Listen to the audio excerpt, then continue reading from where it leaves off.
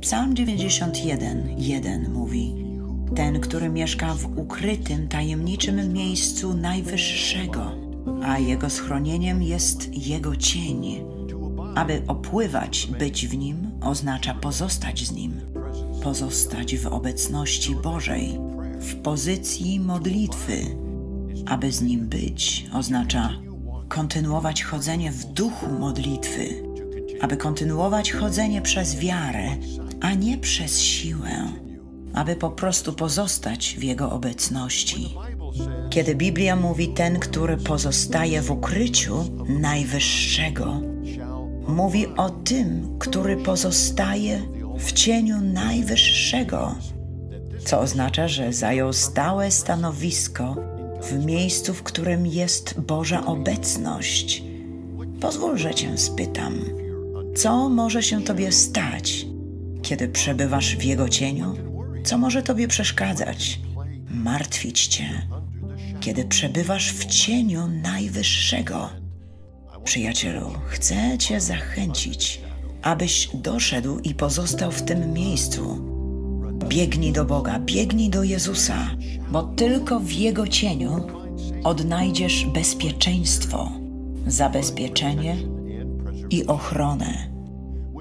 Bo kiedy czujesz gorącz przepalającego cię ognia, który pojawia się z problemami, biegnij do Boga, padnij na kolana albo zrób wszystko, aby pozostać w łączności z Bogiem i w Jego obecności. Przebywaj, mieszkaj w cieniu Wszechmocnego. Więc zanim się pomodlimy, zachęcam Cię, abyś przeznaczył dosłownie kilka chwil i pomyślał o Twoim życiu. Nad czym się zastanawiasz? Czy ma to tytuł? A co jeżeli ten świat? I tak dalej. Albo co jeśli mógłbym to uczynić? A co jeżeli nigdy bym tego nie uczynił? Czy rozmyślasz nad przeszłością? Czy mieszkasz w miejscu Twoich zmartwień i beznadziei? Czy może cały czas rozmyślasz nad Twoimi problemami i słabościami? Co to jest, o czym dziś myślisz? Bo jeśli to nie jest Bóg Wszechmocny, jeśli nie przebywasz w cieniu Wszechmocnego, wtedy, przyjacielu, najbardziej Cię do tego zachęcam, abyś przyszedł do Pana. Przyjdź do Jezusa, a wręcz przybiegnij do Niego. Przebywaj w Jego obecności, to jest takie proste. Nie ma miejsca lepszego na ziemi niż skrycie się w cieniu Jego skrzydeł. Tylko wtedy czujesz się spełniony. Lecz co lepsze, im więcej z Nim przebywasz, tym bardziej jesteś głodny Jego obecności, tym bardziej Go pragniesz. Panie, chcę więcej Ciebie. Chcę Cię szczerze poznać, ponieważ ten, który ma złamane serce, ten, który był zawiedziony i pozostawiony więcej niż jeden raz, Jezus Chrystus jest tym, który Cię naprawdę kocha. De facto On Cię całkowicie ukochał. Lecz dla tych, którzy czują niepewność, wiedz, że Jezus jest jedynym, który zawsze będzie po Twojej stronie. Jedyny, który może uzdrowić Cię z Twoich ran. Więc z tym zrozumieniem, czym jest modlitwa i dlaczego powinniśmy się modlić, proszę zgódź się ze mną.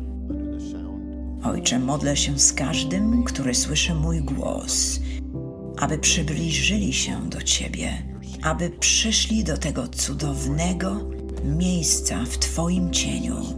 Niechaj każdy mężczyzna i każda kobieta odnajdzie Cię i zdobędzie pewność, że jest przez Ciebie chroniona, przebaczona i wzmocniona pod Twoimi skrzydłami. Oto się modlę w imieniu Jezusa o ochronę przed złym, przed atakami ptasznika, aby ich rodzina była w Twoich rękach, ponieważ Ty ich chronisz. Nasz Panie Wszechmogący, modlę się, aby odnaleźli Ciebie jako jedyne miejsce ich ucieczki. Niech Boża obecność opływa w Waszych domach, w Waszych sercach, w Waszych umysłach. Modlę się o każdego syna i, i córkę Bożą, aby w tej chwili, kiedy będą przechodzić przez burzę, Niech łaska Boża i ponadnaturalna siła wypełni ich ponad to, co szatan próbuje od nich ukraść lub zrzucić na nich potępienie.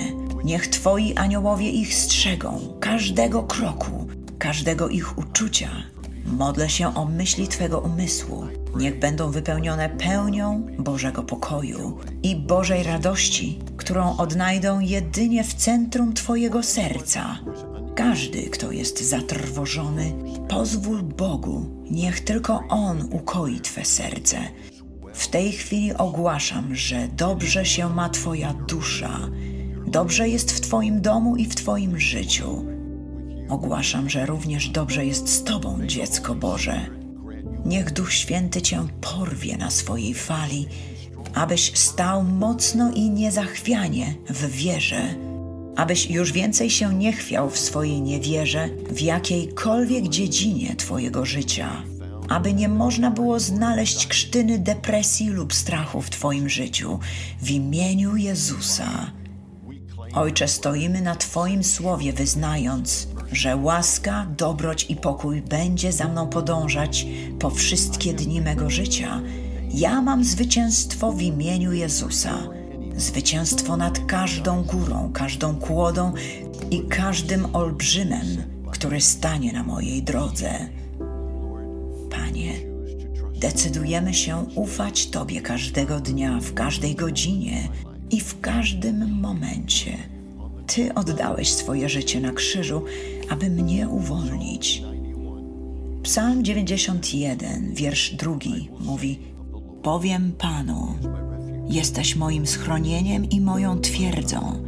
Nazywam Cię moim Bogiem, bo Ci ufam.